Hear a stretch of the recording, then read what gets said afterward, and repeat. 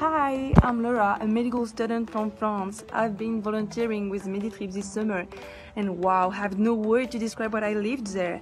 I discovered so much about the Tanzanian culture, of course, the Tanzanian medical cares, but more than anything else, I learned about myself and who I am, and wow, I just can't be more thankful to Pearl, Emmanuel, and all the Meditrips family for this. Uh, this is an experience I will never forget.